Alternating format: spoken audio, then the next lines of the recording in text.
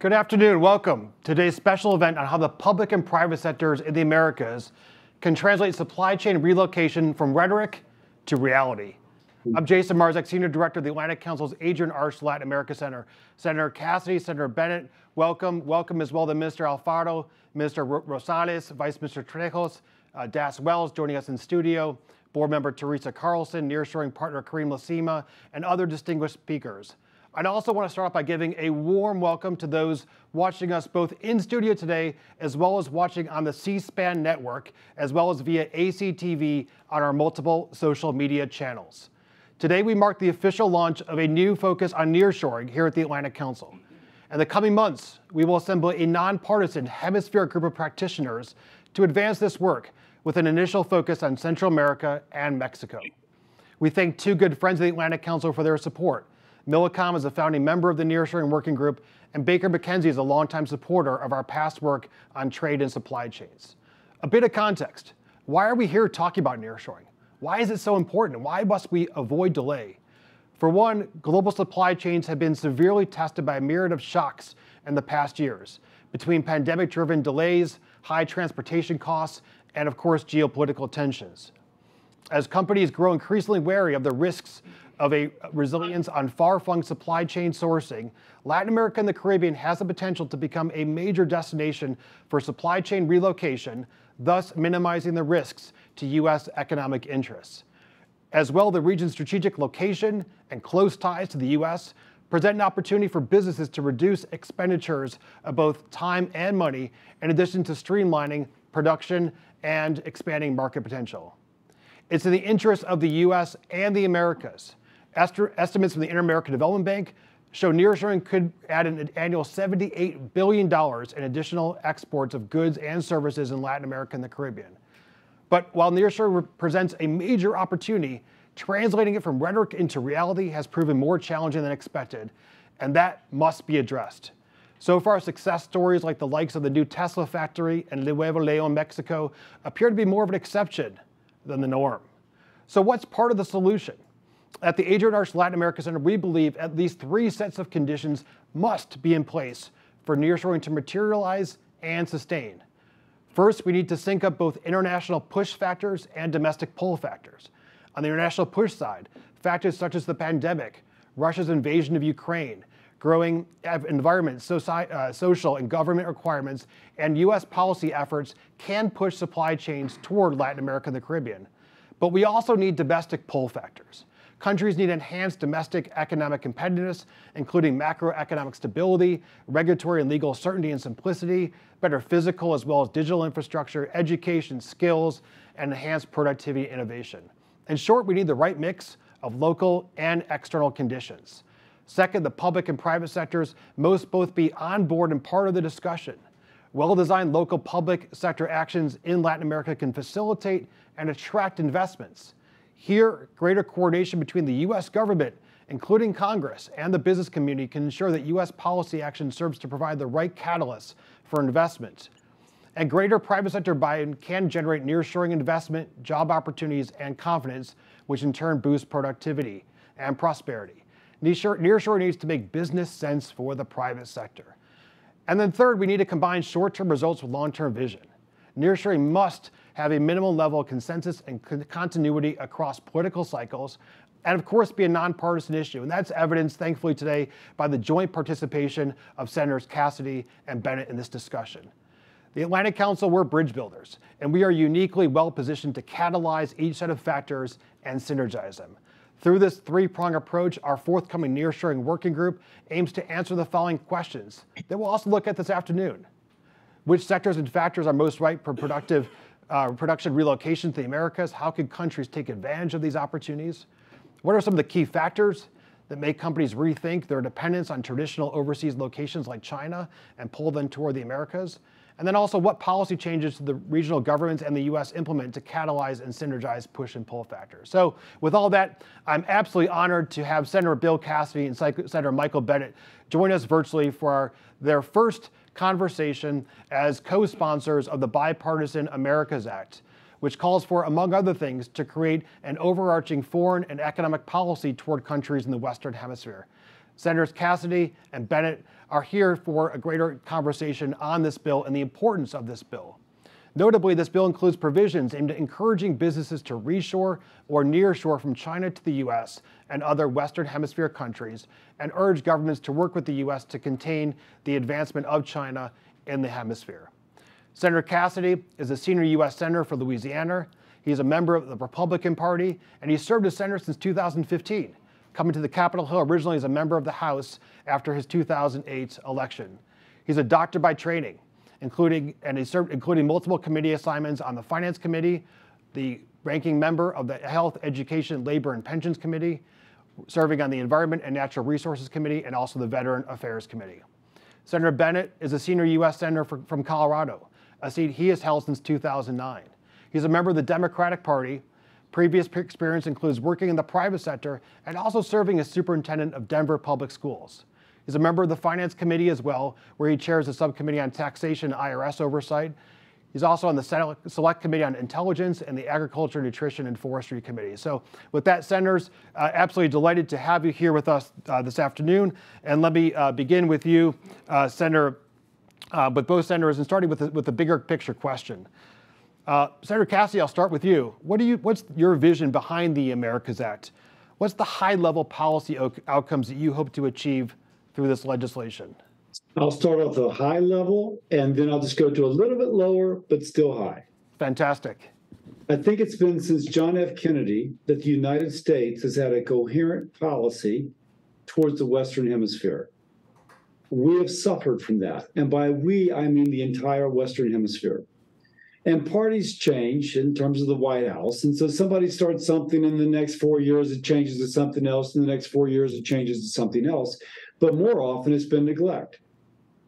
Now, we have a Western Hemisphere, which is having lots of problems, economic growth stalled, governments being somewhat unstable, and in the United States, we see uh, literally millions of people attempting to cross our southern border without go- irregular migration, illegal migration, whatever you want to talk about it. So, so just let's bring it down a little bit um, if we think, Michael and I and others, if we could come up with this coherent policy that would encourage private investment in the Western Hemisphere, reshoring, nearshoring industries that's currently in Asia, it has the benefits that you previously spoke about, but it also has the added advantage of creating prosperity, therefore, ideally, making governments more stable making economies more resilient, making it less likely that someone leaves the, the, the, the, the land in which they've spent generations and, and attempts to go on a very dangerous journey in which many people die to come to the United States for an uncertain future. In the meantime, as the United States exports there and we re import, there's that virtuous cycle of capitalism where everybody's economy improves, not just the other country whatever countries are on either side of this, not just the United States, but also fill in the blank, and not just fill in the blank, but also the United States. As we create that possibility, uh, which again is the pri- being driven by the private sector, being driven by reshoring, um, we think there's myriads of, of benefits. I'm going to bring it down another level, but I'll stop and turn it over to Michael. Thank you, Senator Bennet. Your reflections on your vision for this legislation. Thank you. Thanks, Jason. I want to thank you and the Atlantic Council and the other partners for having Bill and me here today. And I want to thank everybody for tuning in. This is an incredibly important topic as we look to the future. And it is, I feel extremely grateful to share the stage with my colleague, Senator Bill Cassidy, who's shown such leadership here.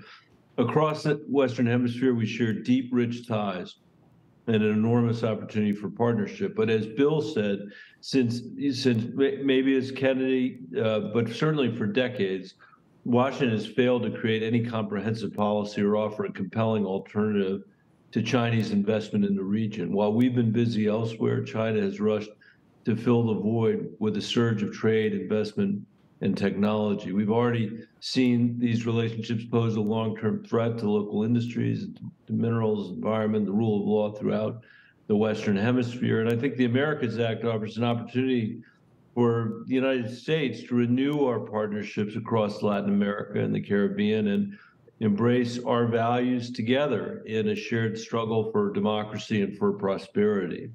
Our legislation would create a pathway to bring jobs and industries that we've exported across the Pacific back to our hemisphere, an endeavor that I, I think we should prioritize, especially following the supply chain disruptions that we saw during the COVID pandemic.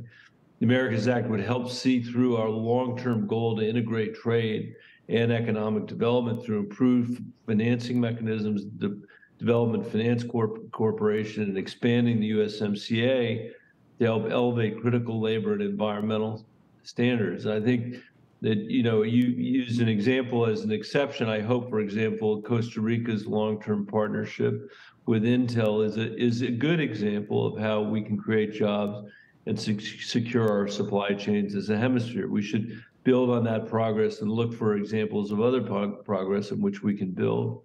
Between Latin America's abundant critical minerals and our abundant oil and natural gas, our hemisphere has everything it needs to achieve energy independence. We're in a position to set an example to the world of a more integrated, secure, and resilient energy infrastructure and to lead the global transition to clean energy. Nobody is better situated than we are as a hemisphere on those grounds.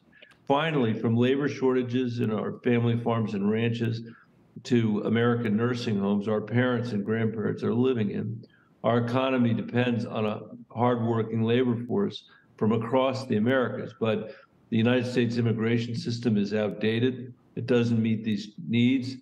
So we need to reform the system to honor our heritage as a nation of immigrants secure the benefits of our economy of a, with a working immigration system that honors and complies with the rule of law. Gives the American people confidence that our border is secure. By creating an ever expanding and permanent trade partnership of Western countries, we can finally take a comprehensive approach to develop long-lasting trade, climate, and immigration policy. And I think that, you know, as we'll get into in a minute, it's really important to me, and I know it is to Bill, that this is a bipartisan effort.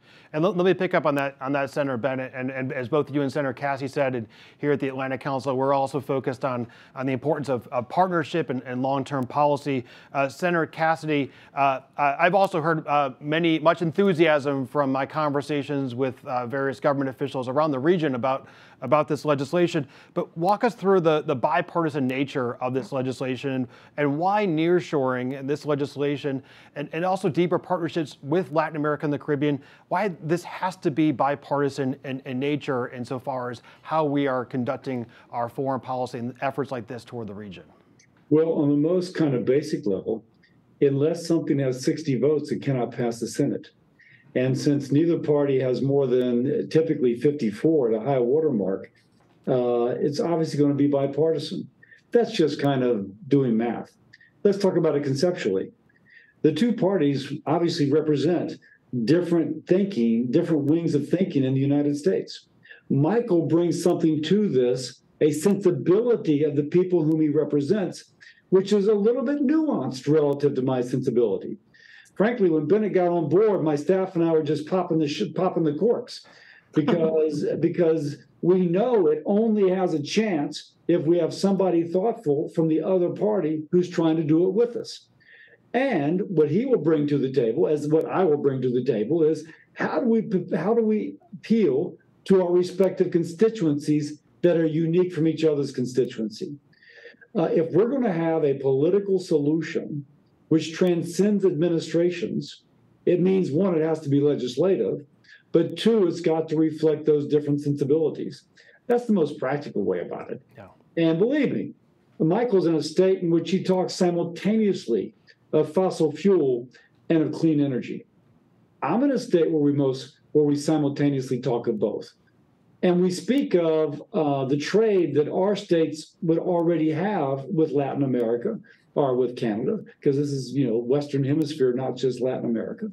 Um, I think our states are also kind of that duality of perspective fossil fuel and clean energy. Um, um, making sure that our workers here in our country do well, but recognizing it's not zero sum.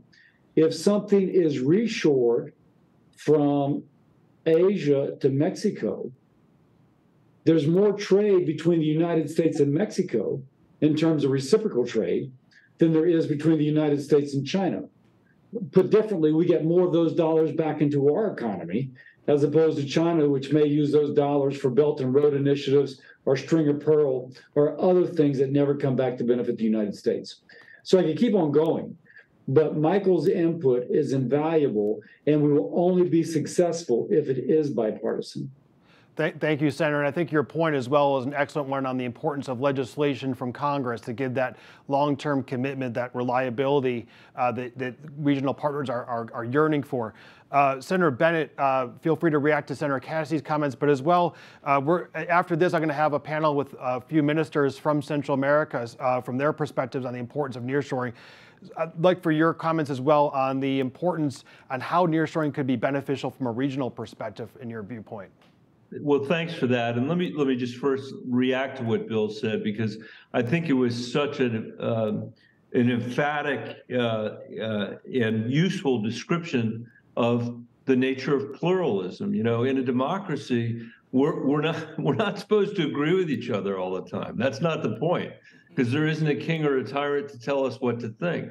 You know, the idea is that we're going to come together, not in some shabby compromise necessarily in the middle, but we take our different perspectives, our different interests, our different geographies that Bill laid out so well, and out of those, we create a result that's more imaginative than any king or tyrant could come up with their own. And I would say durable because we're going to pass a piece of legislation so we can make sure that it endures from uh, from generation to generation. I think that's really important. That's a, that's a set of values around pluralism that's critically important, not just in the United States, but to other countries in this region. And we have to figure out how to lift that up. And I do think that that topic, the topic of bipartisanship, of nearshoring and partnership that you raised, Jason, are all different parts of the same puzzle. I would say to the panelists who are representing Guatemala and Panama and Costa Rica after this session, that by virtue of our intertwined cultures and history and proximity, we are often affected by the same forces, you know, and what the Americas Act allows us to do is take different elements, such as trade and investment, people to people exchanges, create a comprehensive and resilient mechanism of integration and cohesion that will enable our hemisphere to thrive together, which is the only way we can actually thrive. And I think the importance of nearshoring can't be overstated. You know, we're living at a time when the first time really since the 1980s, the United States has finally passed a bill to bring back an industry, the semiconductor industry, back to the US. There's still a ton of work to do, even for the semiconductor supply chain. But through collaboration with our Western allies, we can bring back more industries to the US, US, I think, and create even more jobs and economic opportunities for the entire hemisphere, as Bill was also saying. And as I mentioned earlier, I think you know the Chinese government, Beijing, has taken full advantage of you know our the lack of attention that the United States has paid to the Western Hemisphere, and it shows. You know, since 2000, trade between Beijing in Latin America has grown from almost $12 billion to $445 billion, nearly 40 times. Beijing is now the top trading partner for all of South America and second only to the U.S. for all of Latin America. And I know this is a bipartisan yeah. concern. The question is, what are we going to do about it? Yeah. And that's what we're talking about creating new jobs, increasing people to people exchanges, growing international trade and opportunity, and countering Beijing's growing influence over global manufacturing and geopolitics by uniting democracies in our hemisphere. These are all bipartisan foreign policy goals. They're going to stand the test of time. I just want to highlight one other critical pillar of the Americas Act, and then I'll stop, and that's the people-to-people partnerships. More than 60 million Americans of, of people living in the United States are of Hispanic descent. The United States is the fourth largest Spanish-speaking country in the world. The Americas Act recognizes our nation's diverse nature and creates additional visa opportunities and cultural and educational affairs programming to further strengthen and support the networks and programs and families that unite his, this hemisphere. So I am extremely glad to continue this work with Senator Cassidy and our partners across the region so we don't go another 50 years and look back on what could have been. What, right now, I'm extremely hopeful, looking toward the future with the Americas Act, the vast opportunity that we have together to build a prosperous, safe, and free hemisphere. That's important to us, but it's really important to our kids and our grandkids. Uh, thank you so much, Senators. Uh, we have uh, just uh, two minutes left here, and I want to ask you a last question. What's next? Uh, lots of excitement about about the Americas Act, uh, addressing a lot of longstanding concerns and and and untapped opportunities, frankly, across the hemisphere. What, what, are the, what are going to be the next steps on your perspe- from your perspectives?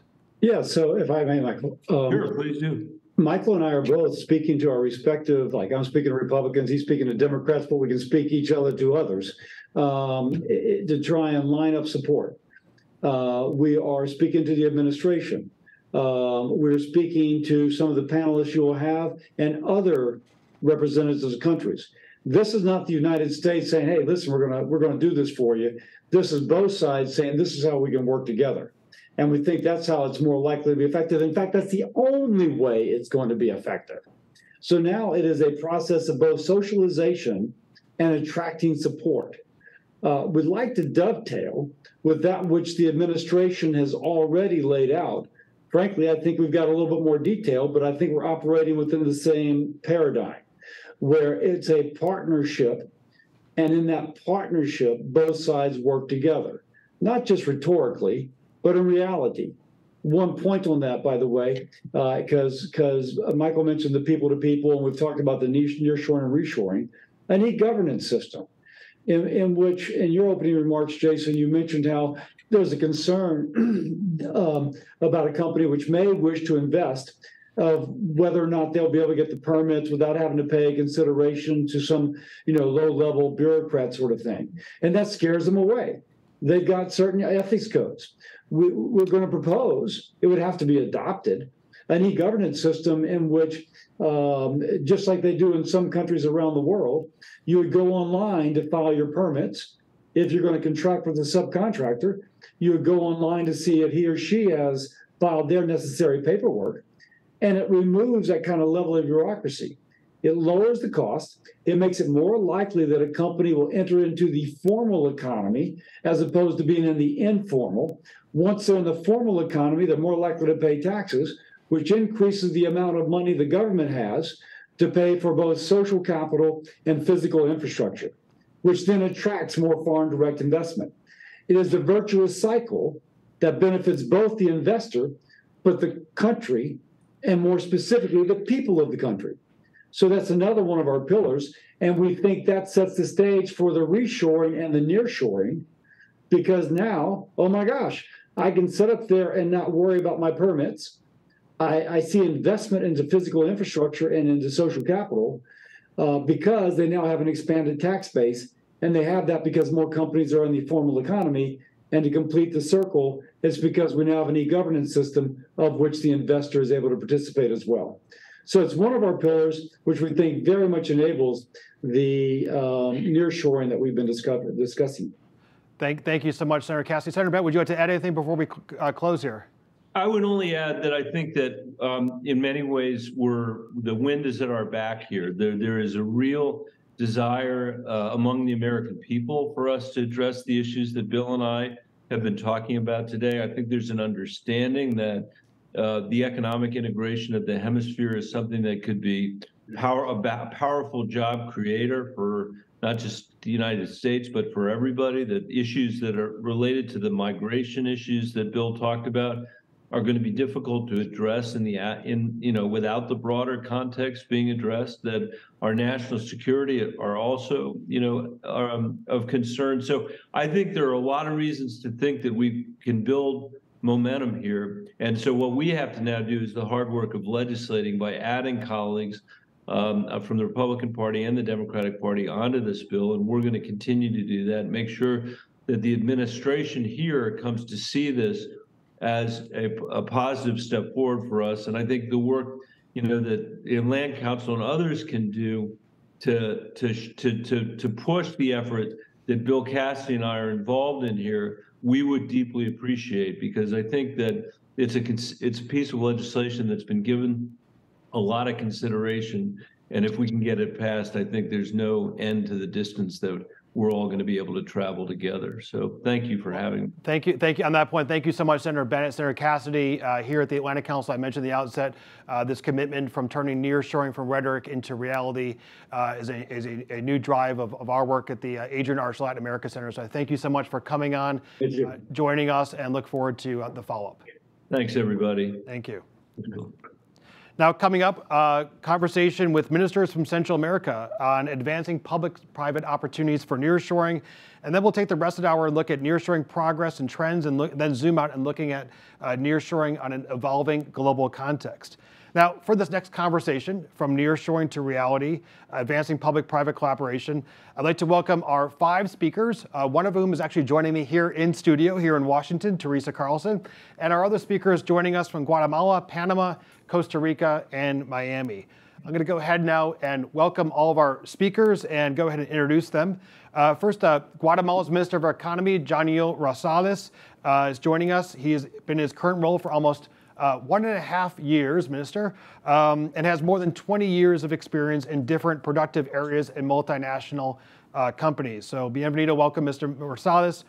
We're also joined by Panama's Minister of Trade and Industry, Federico Alfaro uh, who actually just celebrated, I think about a week ago, Minister, uh, your one year in your current position, uh, and was previously president of the board of directors of Tocumen International Airport and also deputy minister of foreign affairs. We're also joined on screen by Costa Rica's Vice Minister of Foreign Trade, Indiana Trejos, uh, who also serves as the president of the National Council for Trade Facilitation and brings over 20 years of experience in trade, investment, and market access. We're also joined on screen here by Millicom's EVP and Chief External Affairs Officer, Karim Lesina, who represents one of the most important foreign investors in Central America. Millicom's work is critical for the region's economic competitiveness, employment, and livelihood, and is thus a champion in working with the Atlantic Council on advancing the conditions for nearshoring. And then I'm uh, also uh, pleased to be joined here in studio by Flexport's President and Chief Commercial Officer and also Atlantic Council Board Member, uh, Teresa Carlson. Uh, she represents a global leader in supply chain technology, spearheading the country's uh, the company's expansion, new global markets, verticals, and strategic partnerships. Uh, so over the next 30 minutes, we will look at Central America's nearshoring opportunities, supply chain logistics, and how to attract investment all with a public-private lens. And I'm going to go ahead and start with the ministers on screen first. And Minister Rosales, I'm going to start with you. Um, lately, there's been many discussions about nearshoring toward the region, and we uh, have focused on manufacturing in Mexico, or maybe the importance of critical minerals in South America how would you make the case for Central America, especially to those currently overlooking Central America as a nearshoring destination? And also, in your answer, feel free to respond to some of the uh, points that were made by both Senators Cassidy and Bennet in the previous conversation. Uh, thanks a lot first uh, to Atlantic Council for the invitation and especially to you, uh, Jason. Yes, uh, I, I, think that Central America offers significant advantages as a nearshoring destination that are often overlooked. Um, by highlighting these advantages and focusing on regional integration and collaboration, we think that uh, can collectively advance uh, through this business case and, and, convert really the region in the, the near-shoring uh, potential that we think it has. Uh, so here are some points to consider when making the case for Central America and specifically for Guatemala that has a stronger economy in the region. First of all, Guatemala uh, has the largest market in Central America. We are around 94 billion. Export in the last three years were around 40.2 billion. Uh, imports are were around 76 uh, billion. And Central America has also a position as an important investing destination. For instance, uh, like uh, you said, uh, we are close to the market of U.S. and Mexico. And now, specifically, that Mexico is also facing some security challenges we are also having a new opportunity for investors that want to come to, to our countries. Uh, also, the Guatemalan uh, government is one of the few uh, pro-investment and pro-business governments left in the region. So we think that uh, our president has led an economic strategy that has positioned Guatemala also as an attractive investing destination. Uh, recently, not only uh, our good friends from Millicom have invested a lot of billions in Guatemala, but also we are getting companies from India from Qatar, from Taiwan, from Japan, from US. So we think that we are the natural allies of the, the uh, uh, United States and also for the U.S. government. So as the two uh, senators were, were saying, we think that we should uh, focus on not only um, alliances regarding uh, economics, but also people to people, because at the end of the day, what we want is more trade and aid. And uh, we are the best allies uh, left in the region. So I think that we, we should uh, focus on the different alliances that we have already been going. For instance, Costa Rica, Guatemala, Panama, Dominicana, we have already um, some dialogues regarding nearshoring. So I think that uh, if we enforce these type of mechanisms, uh, sooner or later we're going to have the outcomes and we are going to make America safe. Thank you so much, Minister. And I should also mention to you that your, uh, your ambassador, Ambassador Quinones, is here joining us uh, live in studio. Maybe I should have mentioned that before you, uh, you gave your, your answer. Uh, but uh, thank you so much for that. I want to go to uh, Minister Alfaro um, and then Vice Minister Trejos. Semiconductors. Semiconductors have been the center of reshoring and nearshoring discussions uh, here in Washington, and both uh, Panama and Costa Rica are engaged uh, in the space. Costa Rica, of course, and uh, mentioned previously the long history working with Intel. Uh, also, Minister Alfaro, your, your uh, ambassador here in Washington, Ramon Martinez, recently wrote about the opportunities Panama offers for chip makers. How is your ministry? I'll start with you, Mr. Alfaro. How is your ministry working? With its U.S. counterpart and also the industry writ large to advance a hemispheric chip agenda. Feel free to also make any comments with regard to what the senators mentioned in their previous conversation as well. Well, th thank you, Jason, for the invitation. Um, and uh, I will also extend my um, hello to uh, the current uh, Minister of Guatemala, the Vice Minister of Costa Rica.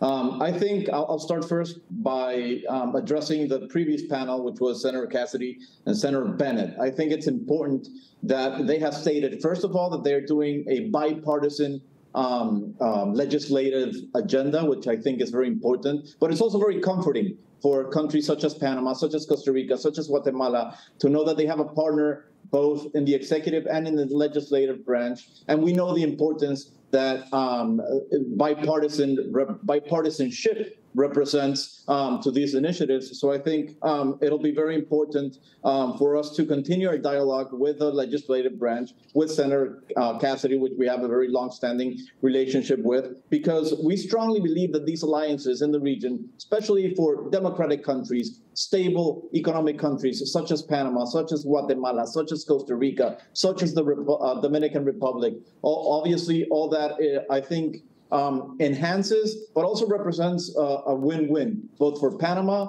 both for Costa Rica, for Guatemala, but also for the interests of the United States. Um, coming back to your second question, obviously the disruption of global supply chains is a unique opportunity for democratic countries in the region. Um, we believe that Panama um, can position itself as a key player in industries that could catalyze, catalyze economic growth and prosperity. Costa Rica and Panama are two countries that stand to win from this movement of supply chain.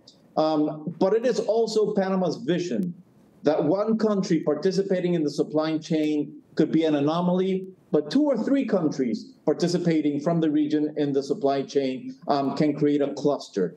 Both Panama and Costa Rica play a larger role in this supply chain. And it's also very important that Central America in general, and Panama and Costa Rica specifically, could become a new epicenter for semiconductors. Um, and together, obviously, our aim is to compete with some of the South Southeast Asian um, countries that provide an alternative.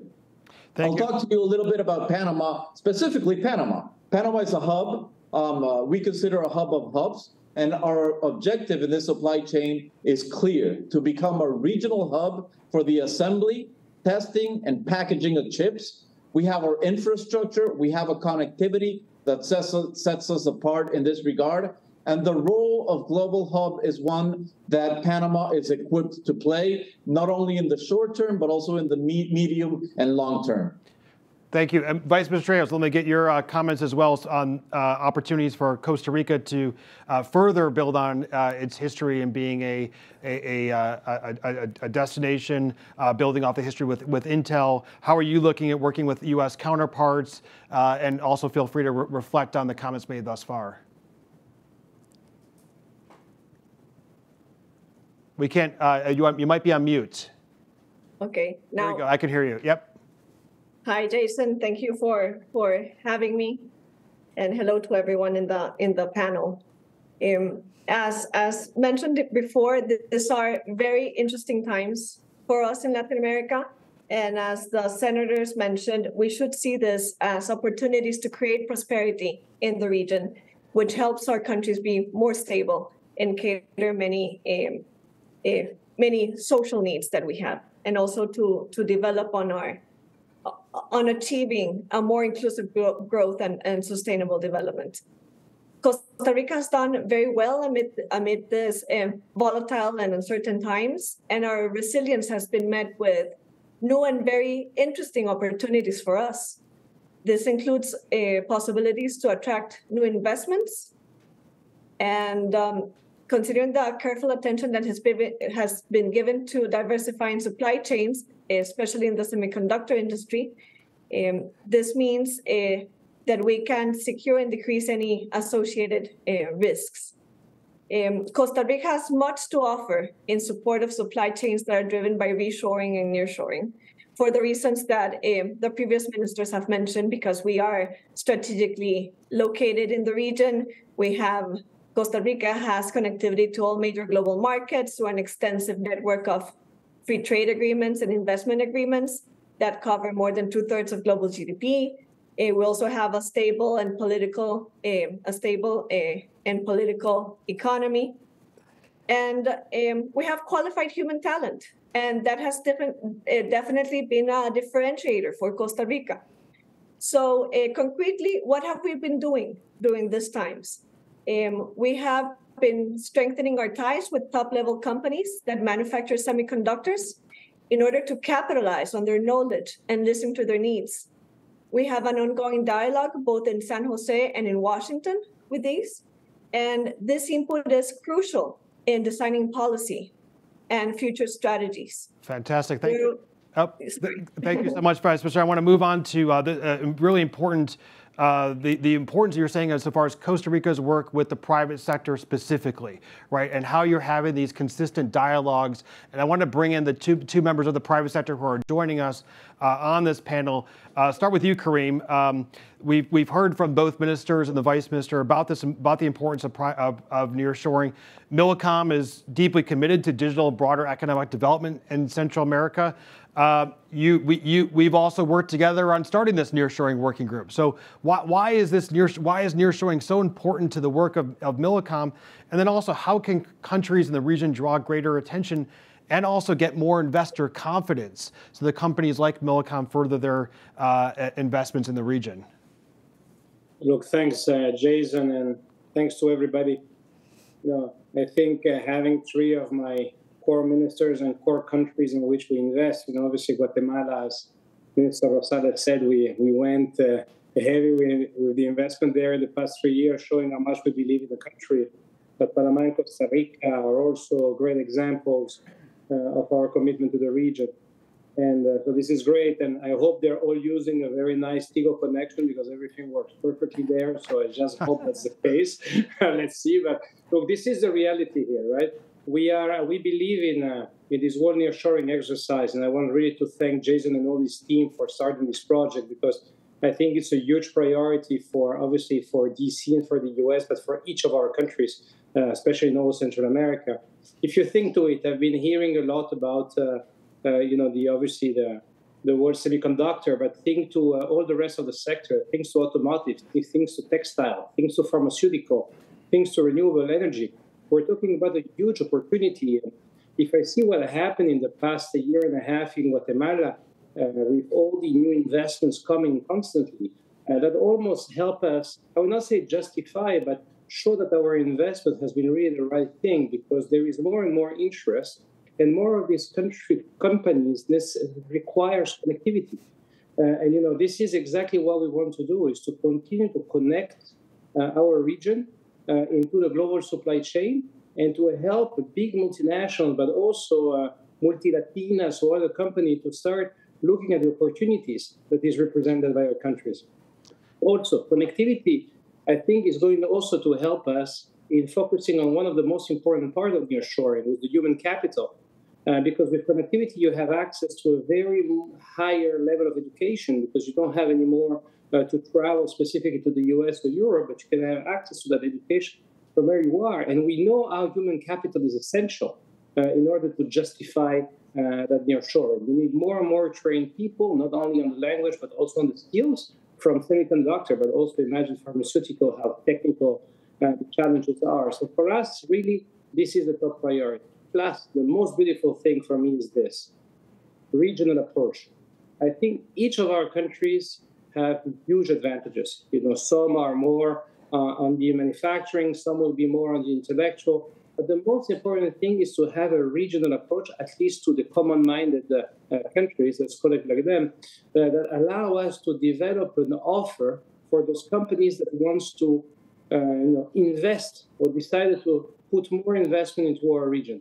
That's the most important part, and this is where uh, public and private will essential in order to de- develop this attraction. And then final point, and I think Minister Rosales really insisted on that one. We need to convince people that the region is a huge opportunity and not only a risk of threat or a problem. The reality is that there is a huge opportunity for all the Americas uh, to invest more and more in the region in order to help uh, tackling some of the challenges that we see here more in the U.S. on the immigration side and etc. I think we need it's a win-win that we really need to focus all together uh, in order to help the region to grow even more than what it is today. Thank, thank you, Karim. Uh, I know Minister Rosales has to uh, uh, uh, leave to attend to an urgent matter, so I want to thank you, Mr. Rosales. Uh, I'm going to turn it to, to Teresa in a moment, uh, but would you like to add anything before you leave? And I turn back to Teresa. No, just thank you for the invitation, and I agree totally about what the colleagues were saying, especially Ministro Federico Alfaro. I think that we should work together and be more competitive as a region, and we should focus on that because at the end of the day, you know, uh, our economy is going to grow, and these type of alliances are in great need for for the development of our economy. So I want to congratulate the Atlantic Council for this great event, and uh, every time uh, you invite me, I'm going to be there. So thank you. All. Fantastic. Well, thank you. So, thank you so much. Uh, Teresa, let me let me go to you. You've you've uh, heard from the ministers. Uh, I saw you yes. nodding your head as yeah. they were speaking, as Karim was speaking as well. Uh, boosting Latin America's success in nearshoring and trade, of course, requires improved logistics, uh, supply chain management, uh, trade financing.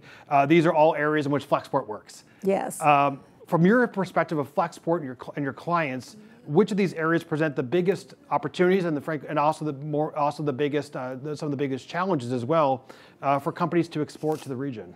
Well, let me, by the way, thank you for having me. This is a great event. And just to give you a little bit of context, Flexport, we're a global supply chain and logistics company. We work, we do work around the globe, and we're actively expanding into Latin America which is going to be a really important part of the world, I think. It'll be a growing important part of the world in terms of supply chain and logistics. And one of the things that struck me in the conversations was your tone around partnerships. Yeah.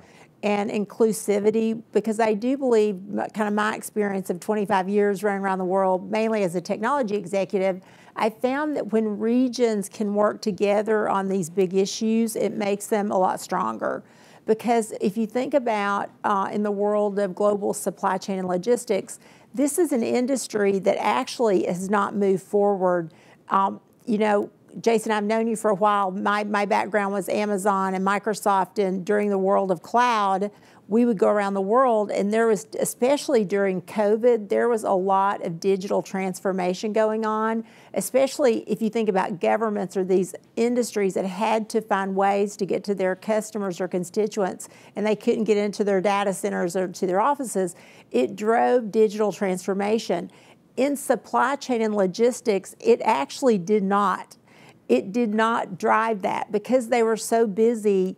Uh, they didn't take the time to do the digital transformation that was really required. So now we're seeing that begin to change. And I think it's an opportunity uh, as well for Latin America because when you talk about skills, you can also think about technology skills that are required, not yeah. just these other skills around uh, public works and infrastructure and financing. Those are, of course, going to be key to success, but also just the fact that technology skills, because supply chain and logistics you need the trekkers, you need the, the individuals on the ground, the labor workers, but you're also going to need technology workers. So I would say, you know, it's a great opportunity. The idea of working collaboratively and looking for opportunities to bring companies in like Flexport, we're like, who do we go talk to? Yeah. How do we work? And last one last thing I'll say is partnerships are going to be so critical because companies like us need to go in and get the right partnerships to move those mm-hmm. goods around. And just a follow up question for uh, Teresa on partnerships. How can what, what's your advice on how governments can most effectively partner with companies like Flexport and, and joint efforts toward actually converting nearshoring into into reality? Well, I think there's there's two parts. Dialogues like these are important, but also helping us understand who's on their radar, like who are their who in their countries are you know, who's the trekking companies, who's the retail companies, who needs our help. And some of the areas, if you think about electronics, uh, retail, fashion, what are the types of goods moving in and out of Latin America, then we need to like we need to connect ourselves with those retailers, but also then work with small business partners. Because again, I'll, I'll just say if you're going in, you've got to know all the small trekking companies too. You just don't want big conglomerates. That creates small business opportunities as well as larger ones. But also, you know, if there's if there's programs they can do around policy that helps you get into the countries easier and then move cross border. Cross border is critical. Yeah. And anything today that we're moving goods, trucks have to move those goods, not just uh, you know ocean freighters and air and air. Yeah, fantastic, Teresa. Let me turn back to you, uh, Minister Alfaro. Uh, in addition to looking ahead, uh, in addition to CHIPS, Panama has also ambitious plans for other opportunities like uh, uh, green shoring what type of new proposals or incentives from the U.S. government could better position Panama in the region as a green shore destination, but also writ large? I mentioned in the beginning of my comments the importance of the combination of domestic pull factors to bring in nearshoring and also international push factors. We talked the international push with the conversation with the senators, but from your perspective, um, uh, what types of um, new proposals, what kind of incentives could really uh, attract that investment that's so necessary uh, into Panama? Well, let me just say this first. I think um, both um, Karim and Teresa have have nailed nailed it in the head. I think number one, um, uh, Central American countries, and Millicom has obviously great experience with dealing with Central American countries, with with Costa Rica, with Guatemala, and with um, Panama. They have made important investments in Panama. They have um, also allocated additional funds to increase investments. And why do they do that? They do that because first, they believe in the country, but we also have a mindset that from a government perspective, we have to facilitate private investment. Um, we have to make sure that companies feel secure from a legal and an investment point of view. We have to make sure that there is the legal framework there available for countries to continue to invest in Panama. Um, and I believe we have done so. We have, um, um, I think, investment opportunities. We have our legal framework. But I think Teresa has also mentioned something important that is collaborate with other countries in the region and with um, private companies. When we talk about collaborating with other countries in the region, um, we all can bring something to the table. Panama, as you know, um, has the Panama Canal. Over 6% of world trade, world commerce goes through the Panama Canal. We have important infrastructure when it comes to um, um, ports, for example. And that's what we bring to the table. Costa Rica has human resources. Guatemala um, has obviously other important um, things to bring to the table when it comes to manufacturing, for example. So the region has to think of itself not as isolated countries, but of what as a region as a whole we bring to the country, we bring to the table. But I think it's also important to bring your attention to green shoring, as you said. Um, Panama is a green leader, one of the only three carbon negative countries in the world. And also important to mention, a blue leader with over 50% of our oceans declared protective areas. That has become because this government, but also this generation of new leaders believe that climate and sustainability are central and must be central to our economic development strategy. And we want to ensure that as we move closer to advanced economic status, that we keep in mind what really matters, which is building sustainable future for our citizens. Our impact on climate action is not only local, but global. This year, for example, and I'll give you certain examples. We hosted our own Oceans Conference, where representatives from over 190 countries made 361 new commitments, valued at more than 21 and 22 billion dollars to protect the world's ocean. The Panama Canal, since its conception, has aimed to close the gap in the maritime industry, offering a route with a shorter navigation time, resulting in cost reductions, supplies, fuel, and consequently less carbon dioxide emissions. Mr. Alfaro, Mr. Alfaro, those are excellent points. Uh, I want to make sure we have, we're just uh, about to conclude this panel. I want to make sure to bring in Vice Minister Trejos and Karim uh, one last time here. Uh, Vice Minister Trejos, I want to ask you about USMCA. Uh, uh, Costa Rica has been interested in, in, in an entry into USMCA. How would some, how would the formal integration of Costa Rica, maybe even its members, into that agreement, how would that expand nearshoring oppor- opportunities? And I'll, if you could uh, take about a minute on that question, that'd be great. Thank you. Um, we see USMCA as the natural way forward to consolidate our trade and investment relation with the United States. CAFTA, as you know, is is old.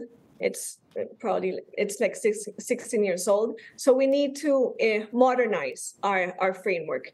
And USMCA provides the high standards and modern rules, modern rules that we, we need for our industries to thrive. Also, Costa Rica has evolved from a country that exported just a few products to more than um, 4,000 4, products to more than 150 countries around the world. And 50% of our goods exports are destined to the North America market. So it makes sense to consolidate and improve our um, trade um, framework or trade normative.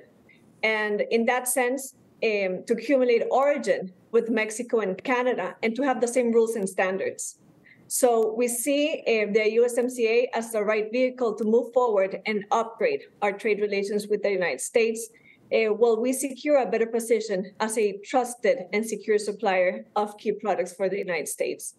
Um, we have talked to US companies, to business groups, to think tanks, among others, and we have found enormous support for this idea. We know it will take time, um, uh, but we're happy to see uh, Senator Cassidy and Bennet uh, sponsoring, of course, the, the Americas Act, and to know that there is um, some support from from Congress and, and the Senate for this proposal.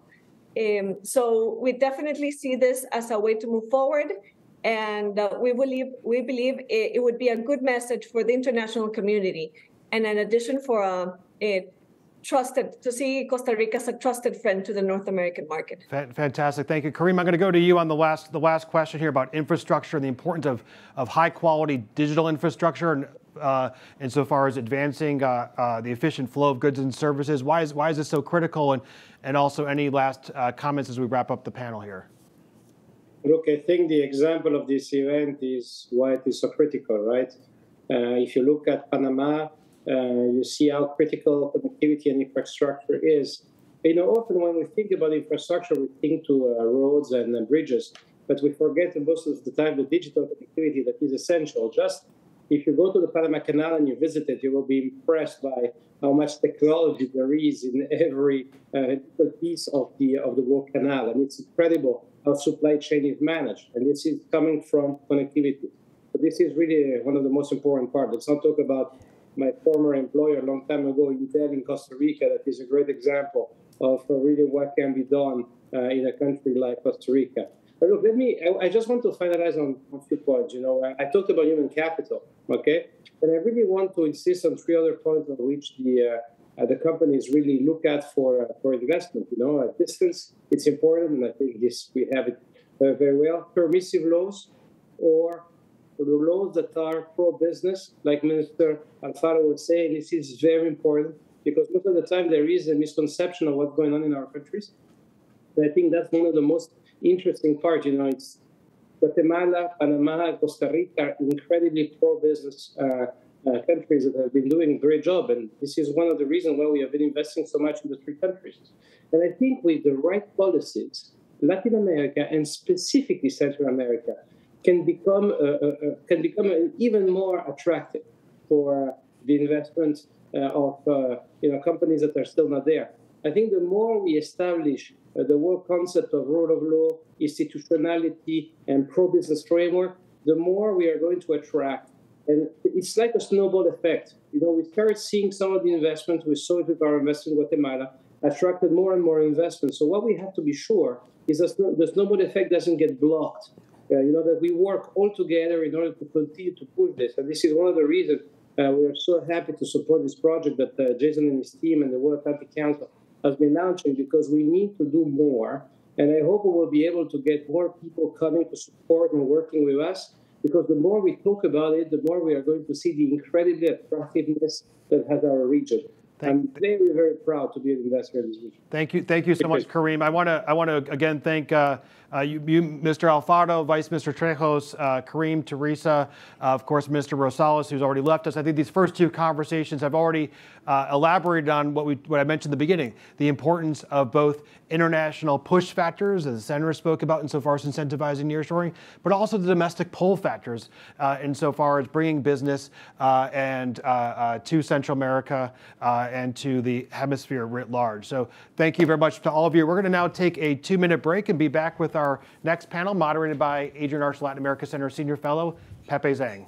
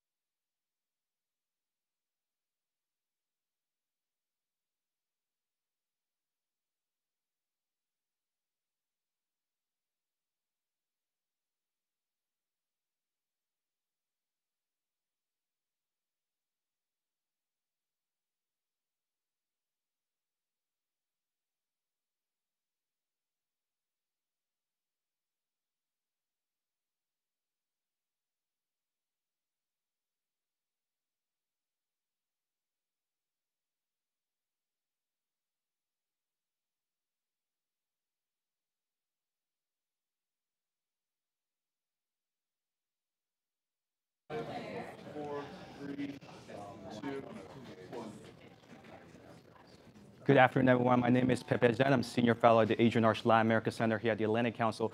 What a pleasure and what a tough act to follow after these very high-level panels that we just had with two U.S. senators and, of course, uh, two ministers from Central America and a vice minister from Central America, and, of course, bringing in the private sector perspective.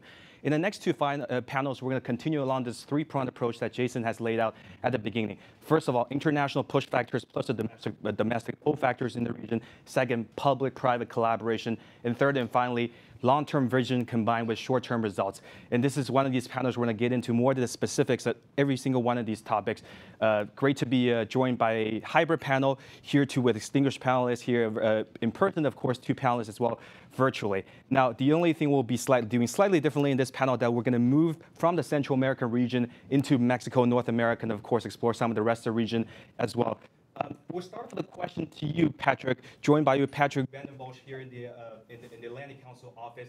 Patrick is a partner with Kearney, and Kearney has been doing this amazing reshoring index annually. Love to hear more about that. An excellent resource that's global in, skill, in scope, database, just thinking through some of the tough issues and what are some of the myth and facts that are happening in the reshoring in a global context. So my question to you, Patrick, first of all, is based on your reshore index, which you do again annually, do you think that in recent years the nearshoring trends have indeed picked up, or do you think it's more of a hype? And second part of that question is, within this global context, how is Latin America and the Caribbean performing? Uh, well, the answer is yes, but there's a little but. Right. Uh, so for the yes part, uh, I think a number, uh, number of facts have, have shown that uh, clearly Mexico imports into the US are on a serious uptick. So if you go back to just before COVID and now uh, the imports from Mexico into the US have gone up by about 26%. Uh, and in fact, Mexico is around 100 billion below China still, but you know, has caught up quite a bit over time. Uh, secondly, FDI in the first quarter of 2023 in, China, in uh, Mexico has gone up 48% versus last year. So there's also money being put into Mexico, and therefore we expect uh, imports further to increase. Um, and then, of course, uh, many of our clients are increasingly trying to shorten their supply chain uh, because of all the COVID reasons we've talked about, but also now that capital's gotten more important and more costly. Uh, tying your, uh, your products uh, up on the ocean for six to eight weeks is, is starting to become a pricey endeavor. Um, and then, of course, um, we've also heard from CEOs as part of our study uh, that they are increasingly being asked by their boards to continue to, continue to evaluate nearshoring and reshoring. Uh, in fact, 71% of uh, the CEOs that we asked uh, said that that was the case versus 38 last year. So that's a significant increase. So all these things to me tell me that yes, nearshoring is definitely uh, on its way up. Um, the but part. Uh, so for that, we need to look back a little bit to the last 10 years, and that's the time frame that we've used in this reshoring index study. And what you've seen is that actually the share of China's import into the US has actually come down as a share, not as an absolute dollar amount. That's actually continued to go up. But if you look relatively as a share, has come down. And the first five years, 2013 to 2018, it went down by a couple of percentage points, and Vietnam was one of the major countries that benefited from that.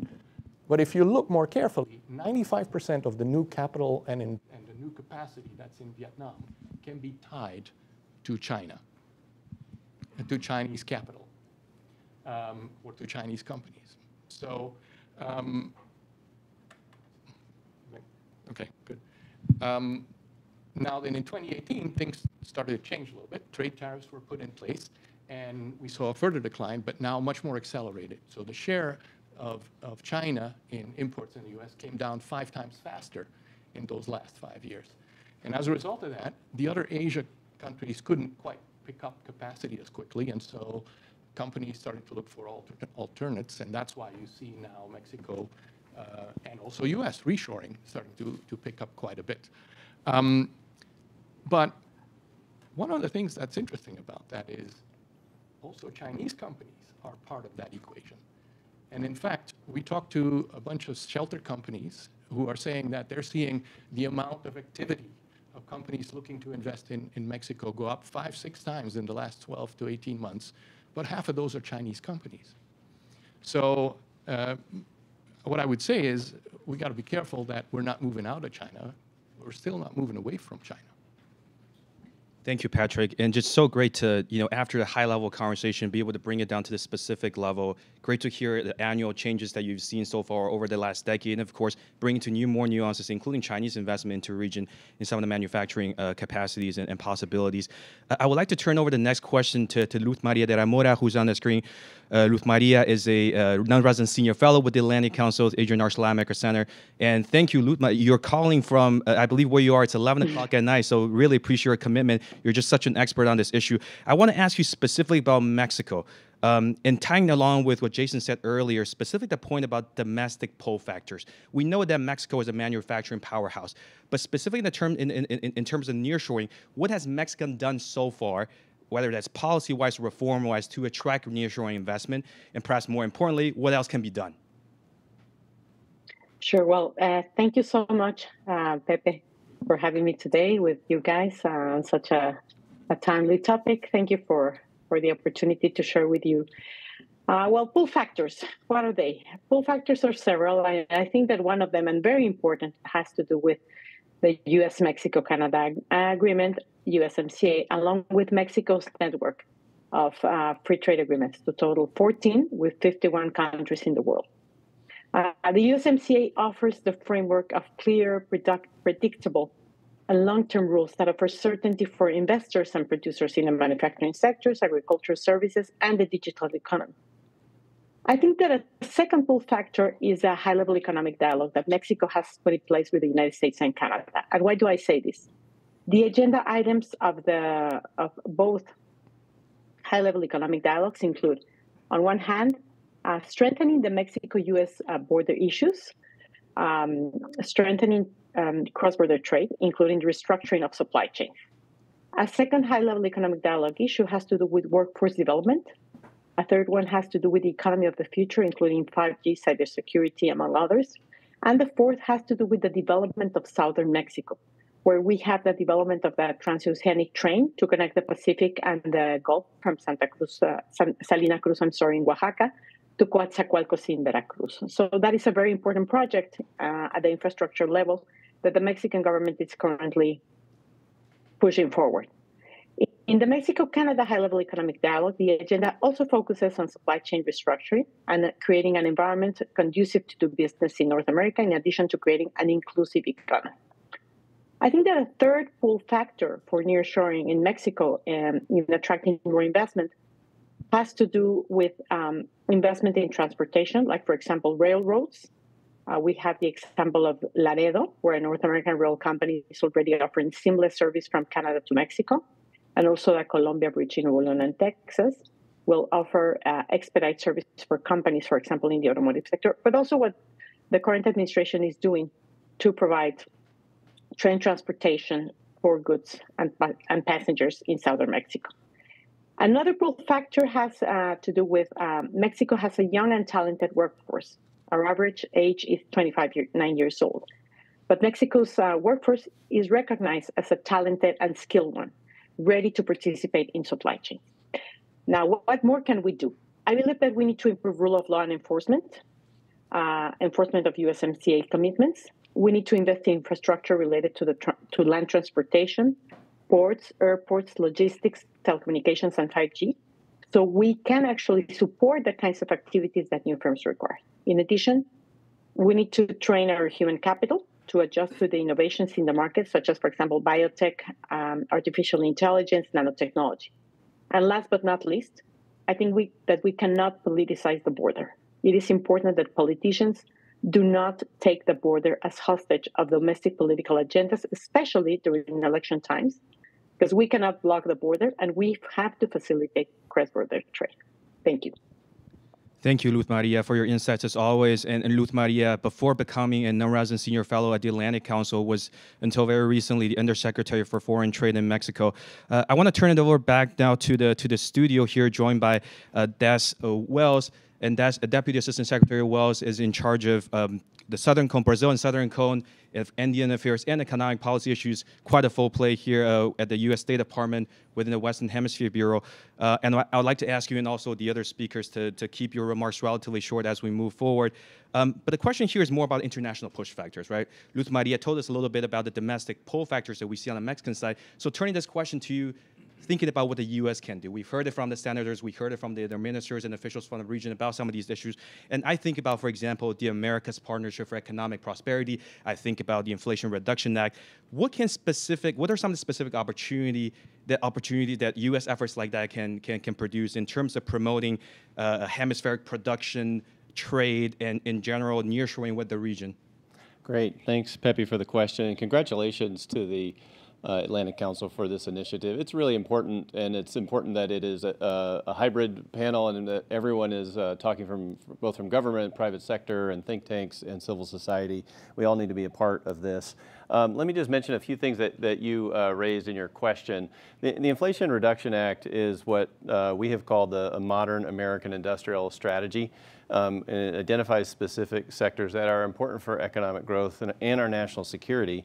And so in order to make these investments, we need the private sector to do more, and, but we also know that government has to step in and play an incentivizing role. So, um, you know, the idea right now is for targeted public investment uh, that will unlock the power and ingenuity of private sector and spur private sector investment, um, which will be the foundation for long-term growth. So what are the examples of that? You've mentioned the um, America's Partnership uh, and, and, the Inflation Reduction Act. I'll just say on the Inflation Reduction Act, the idea is that we would be able to build a clean energy infrastructure and ecosystem uh, with all the supply chains in North America. Uh, the, uh, it, it contemplates $369 billion in energy security and climate change programs. Uh, the CHIPS and Science Act, which is to bring semiconductor and manufacturing to back domestically, we've mentioned it a few times here, not only domestically, but also near to our shores. Uh, that provides 39 billion in semiconductor incentives. But that will include also 500 million uh, for the State Department in the not only the Western Hemisphere but also the Indo-Pacific region in order to uh, work with our partners to secure mineral uh, critical mineral imports, strengthen uh, international policy coordination, protect national security, and expand and diversify downstream capacity.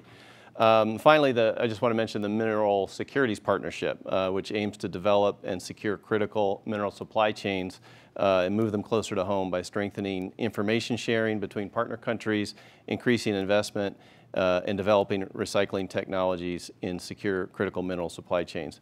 Um, the, the point on all of these, you know, in the race to modernize and react with our economy to the sort of the, the trends that are developing, uh, we want to do it right. Uh, we want to uh, do it in a way that doesn't uh, recapture some of the practices of the past, but we want to make sure that we're doing it in the right way. Those are just some of the ideas. Thank you as well. And great to hear from, about the, the Critical Minerals Partnership as well. Even though the current stage of this project is about Central America, focused on Central America and Mexico, we certainly want to explore further down south to other countries in the region. Um, next question, I want to turn over virtually to Adriana, Adriana Ibarra Fernandez, who is a partner with Baker McKenzie based out of Mexico City. Um, Luz Maria previously mentioned uh, USMCA. Das Wells also mentioned the importance of North American integration. I know this is something you spend a lot of time working on. So let me ask you perhaps a very quick two-minute response about what are in what ways is USMC creating creating unique advantages for the for Mexico specifically, and of course for North American uh, as we think about this global competition for nearshoring. Hi, Pepe. Thank you very much for having me. I'm, I'm very glad to be here with that. It's very interesting uh, panel. Um, well, I think that um, the volumes of trade among the three countries talk by themselves and, and show that what we're capable of doing if we are integrated as a region. And as Luz Maria said, um, the USMCA modernized the legal framework for North America. It provided investors with legal certainty. And that is crucial when making a decision of where to set your operations to be close to your markets. Now, I believe the cornerstone of the agreement is the dispute settlement mechanism, which existed under NAFTA but has been improved in several ways, including the selection of panelists and timing of procedures. And there's an important issue here because after less than three years of having the agreement in force, there have already been five cases under Chapter 10 on trade remedies, four cases under Chapter 31, which governs disputes between states, and there are consultations between Mexico and the US on the Mexican energy policy and genetically modified corn. But this does not mean that the agreement is not working. I think it's the opposite. It means that countries must abide by the commitments made in the USMCA because otherwise there are efficient mechanisms to address these issues. And there, if a country is not conforming its measures with such commitments, economic retaliatory uh, measures can be imposed. So um, countries have to, I mean, really bear this in mind, no? Um, moreover, um, the, the USMCA was modernized, and I think that after an exhausting negotiation to which Luzma was part, I think, um, the, the, I think the CPTPP or the TPP uh, set the foundation for an agreement with a very good economic but also social view now we have labor and environmental provisions that are part of the agreement, and therefore they can be subject to the dispute settlement mechanisms. There is a chapter on small and medium enterprises, one on anti-corruption and one on, on uh, good regulatory uh, practices. And there are disciplines now that did not exist when, when the NAFTA became effective, such as uh, digital uh, trade and uh, telecom and uh, modernized provisions on intellectual property. So all this represents opportunities for companies to set facilities in the region uh, under the nearshoring trend, but not only from a region, because as someone mentioned uh, earlier today, we see a lot of investment from Chinese companies that are saying, okay, if there's a trade war uh, between the US and China, well, I'm going to set facilities near the US I'm going to say facilities in Mexico take benefit of the USMCA. And the same we are seeing with European companies. So the nearshoring trend um, is not only having US um, investment moving out of China and closer to uh, their markets, but it's also attracting investments uh, from other from other regions such as Asia and Europe. Thank you, Adriana. That's very helpful. And I think everyone in the audience is now already understanding some of the nuances that exist on a day-to-day level, bring that on from the high-level conversation we've had earlier. And I'll say that as I think about these issues, we have the domestic pull factors that, that Luzma had mentioned earlier. We had the international push mm-hmm. factor that that's well as mentioned. And I see USMC as a way to bridge those two, right? How do you bring the, the domestic specializations in Mexico, in US, and Canada through an international mechanism that's been successful so far? There are some challenges, but of course, we can work through those. So th- thank you so much for that. Now I want to get even more specific into the opportunities and the specific challenges, and I'm going to put everyone on the spot to have one minute response. Uh, when it comes to challenges, I want to stay with you, of course, Aliana, for a bit, but perhaps ask Patrick the first question. As you work very closely with, with either companies have already re, nearshore, reshored, or interested in doing that, what is the top challenge they, they, they face, and how have you, for example, helped them navigate that? And I'll ask the same question to Aliana, turning it over to you. Well, I think there's there's actually three. Um, there's a, it's starting to get a little bit crowded around the border because everybody wants to, of course, be as close as possible to the U.S. border. Uh, so that's starting to get tight in terms of space and labor and so on. Um, the second one is that Mexican suppliers right now are extremely busy. They get bombarded with RFPs, and some of them are either not able to respond or they give you a go away price.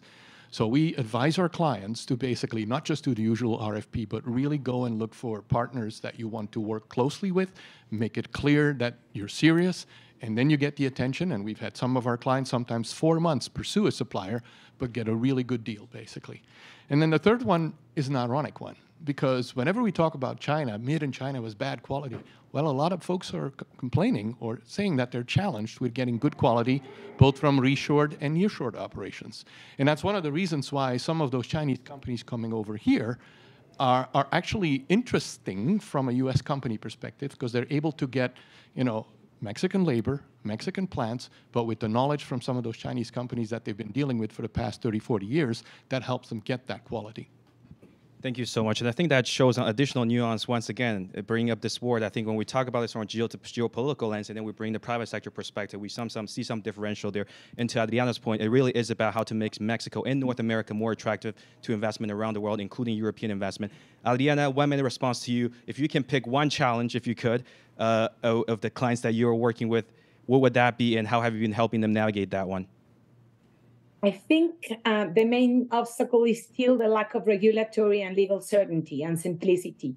And we see this in the administrative burden that setting up a company represents, uh, but most importantly, the lack of application of the rule of law. Um, um, on the administrative burden, I can mention a very important program which has been in place for many, many years, and that's the Maquiladora program. And during this administration, despite the nearshoring trend, we have seen less and less authorizations for uh, new Maquila programs. Uh, and that's because the requirements are being applied in a very stiff manner. Uh, and we're also seeing an increase in audits. So um, I think the advice for companies is compliance, compliance, compliance, because if you abide by the rules and you are very, very strict in how you follow them, uh, you, you, you should be able to do business and, and run your business in Mexico. But if you face an audit, uh, you have to be very careful on being able to demonstrate that whatever you bring in was transformed and exported. If you brought it in uh, under a maquiladora program or an IMMEX program, and you have very strict controls over, over your inventory control systems. And if you're getting a new program, I think, I think that, that the message piece, would be just I think that Sorry. compliance piece, um, in my mind, is very much connected to what Patrick has said. We see an opportunity. We want to make sure that countries have the ability to, to absorb that, both at a quantity and quality level. So thank you so much for that. Um, with that, I'll turn over two final questions, one virtually to, to our non-resident senior fellow again, um, uh, Maria. And this is once again very quick response. We talked about the challenges with Patrick and with Ariana. We want to look at the opportunities. Uh, what is perhaps the one opportunity, top sector, uh, sector and product that you want to look at uh, in the Mexican context? And I'll turn it over to perhaps a 30 second response to Das Wells about perhaps some call to U.S. Uh, action from the U.S. side. I think we lost Luz Maria for a second, so we'll skip that and go straight to Das Wells. Again, we talked a little bit about what we can expect from the region, just as obviously a two-way street. So if there's any message, whether that's a request or a concern that you have about advancing reshoring, nearshoring the regional context from a U.S. government perspective, what would you say? Well, I, I think everyone here has already said it. It's certainty, right? And it's so it's a question of uh, do we have clear regulatory framework? Are the do we have fair competition? Um, and you know, and with this administration, what we've been working on is uh, increasing in, uh, environmental standards, labor standards. We've also had a very strong initiative on uh, anti-corruption. I mean, I think the challenge for us that we're facing is that we have to get our policy tools uh, modernized and in line and ready to go with the with the geopolitical competition that is quickly materializing before us. And that's one of the challenges is trying to push the policy so that it sort of keeps up with the private sector and what's going on between the countries and within the countries. A final point. Uh, just regional integration, uh, that the countries themselves are also um, harmonizing in the way that they treat each other from a trade perspective, environmental and labor standards, democracy, promotion of human rights. The more that they do that, the more that we're able to take advantage of that and diversify and, and uh, promote resiliency of supply chains. Thank you. I think my job as moderator is very easy when the, the, the, panelists refer to previous point that's been made. And this, in this particular case, I thought about what Senator Kennedy and also Senator, uh, uh, Senator Cassidy and also Senator um, Bennet mentioned about ensuring that transparency, corruption piece, anti-corruption piece is in place. Uh, with that, we'll conclude this panel. Thank you, everyone, for joining us in person and virtually. Adriana, thank you so much. Great to have your expertise as always. Luz Maria, of course, thank you. Finally, you can go to bed. It's very late there, almost midnight. And with that, we'll move on to the final panel. Thank you. Bye. Thank you very much.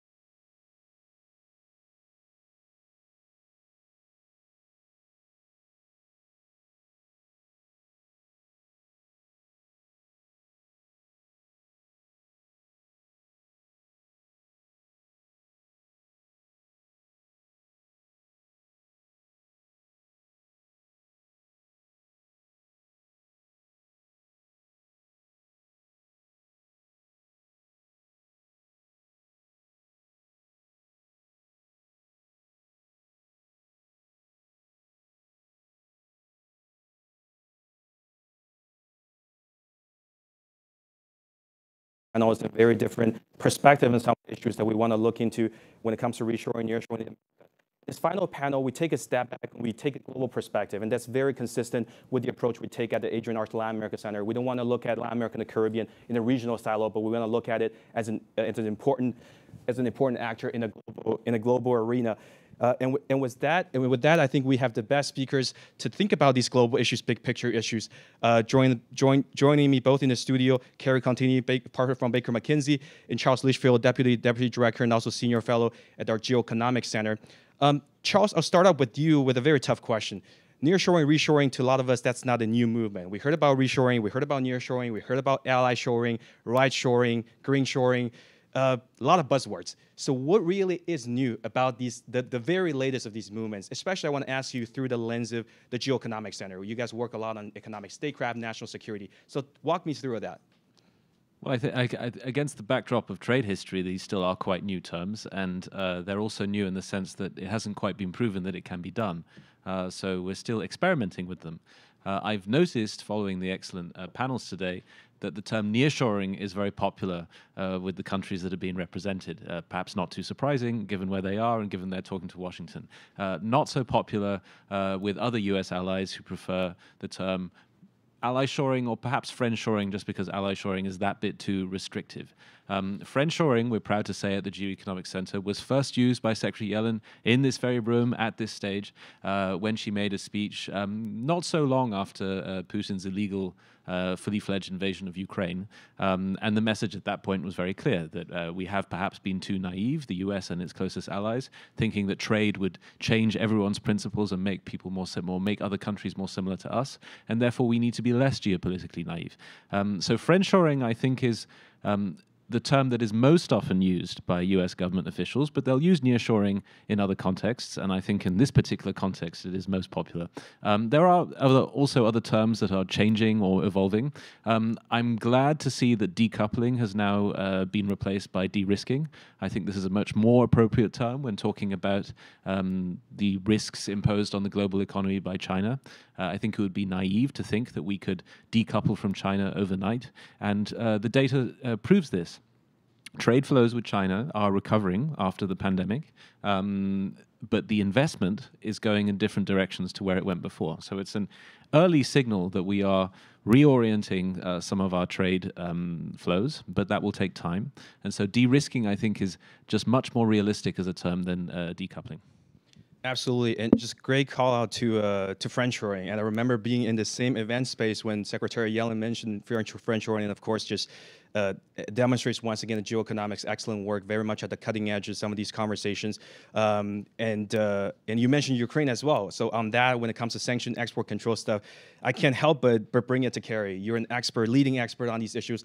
Love to hear more specific about how sanction export controls have really impacted, affected global trade and production patterns. Thinking about the nearshoring conversation we're having, um, and and do you see these patterns to continue, for example?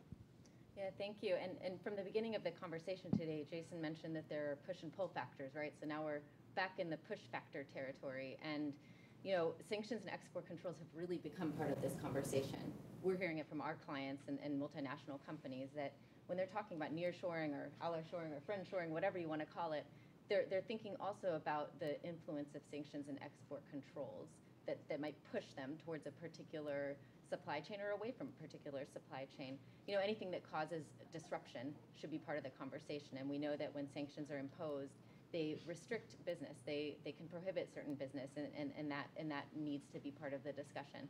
So there's really no better example of that than than the war in Ukraine and and, and the sanctions that were imposed against Russia in the wake of that. We saw entire we saw entire supply chains that had to be shifted because they all of a sudden became prohibited or, or just too risky for multinational companies. Um, that was a very dramatic example, maybe not one that we'll see every day, but it is a trend that will continue. And in fact, even though it was kind of a, a dramatic, very extreme example of, of, sanctions and export controls and the, the massive impact that they can have, it was actually a bit of a continuation of a trend that we were already seeing. I mean, for, for you know, probably up to around a decade now, we've been seeing sanctions and export controls being used in ways that impact a lot of mainstream business. It's not just rogue actors, you know, off in the corners and margins of society anymore. There are a lot of there are a lot of impacts that are felt by businesses around the world, and we do expect that trend to continue. Thank you for that. And I think that once again brings it to the day-to-day level. What are some of the challenges and opportunities that businesses are facing in this evolving global context? I want to turn it over to Charles, uh, your final question for this panel. Um, at the Atlantic Council, we talk a lot, especially about the EU-US partnership, the transatlantic relationship. That's super important. And when we talk about supply chains, we all we often talked about, for example, the recent G7 initiative. But we're going to put you on the spot here because you know this is a this is an event at the Adrienne Arsht Latin America Center, working very closely with Geo Econ, of course. But from a global perspective, how does Latin America, or how might Latin America fit into this global conversation about supply chain, based on what you said earlier as well? Luckily, I listened to the previous panels, and so I have some things to pick out from them, uh, all very interesting. Um, uh, as some of the ministers from Central America were saying, it's very reassuring to see that there are some senators who are interested in the region. Uh, I think, unfortunately, um, every country is competing for interest in this, proving to not just the executive branch but the legislative branch uh, that they are friends, that they are near, and that um, everything should be done to encourage firms to invest there. Um, it is the firms that do the investment, after all. Um, the U.S. government uh, the US government's powers are limited, but it can, um, through market access and also through trade facilitation, provide an indication that these are the right places to invest. It can also crowd investment into a particular destination uh, by providing some of the seed uh, capital, and that's being done uh, by um, this government through USAID and other uh, outfits. Um, I was very interested to hear in the second panel the ministers being quite honest that they didn't think CAFTA was fit for purpose anymore. Um, so they are lucky in the sense that they are uh, some of the only 20 countries that have a free trade agreement with the US. Um, but it was very interesting to me to hear that they don't think this is enough. Why? Uh, they look at USMCA and see that USMCA provided um, additional benefits, particularly to do with subsidies and providing carve-ins for those countries uh, where uh, CAFTA members uh, weren't uh, didn't have access to them. So I know a little bit about the ins and outs of the Inflation Reduction Act process, and we don't need to go into that detail now.